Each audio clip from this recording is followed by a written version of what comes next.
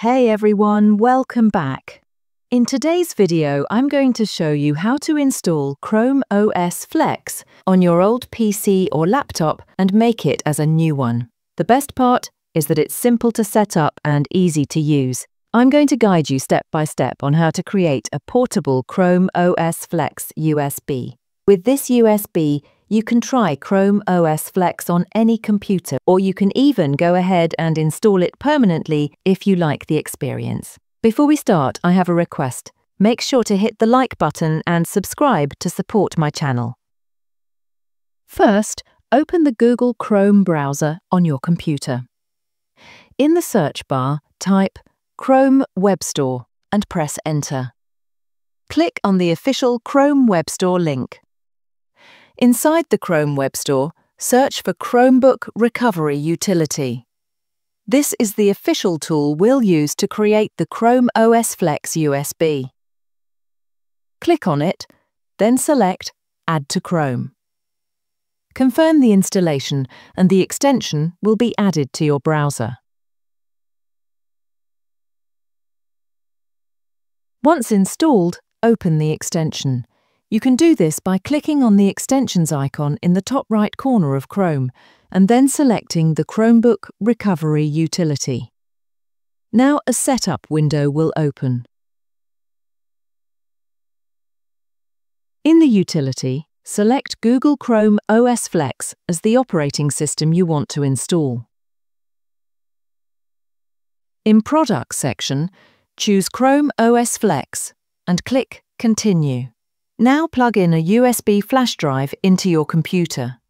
Make sure the drive has at least 16 gigabytes of storage. Select the USB drive and click Continue. Finally, click Create Now. The Chromebook Recovery utility will now start downloading Chrome OS Flex. It will take some time, according to your internet speed, so be patient.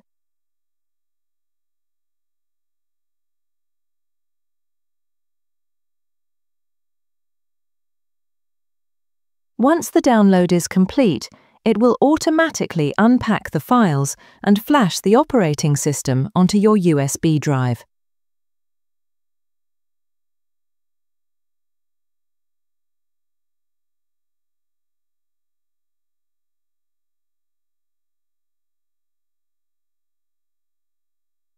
Let's test it out. I'll plug the USB into my old laptop. To boot from the USB, restart the computer and press the boot key. Bring up the boot menu. For example, it might be F9, F12 or ESC. On my laptop, it's F9, so I'll keep pressing it as the laptop powers on. From the boot menu, select the USB drive and press Enter. Now follow all on-screen instructions.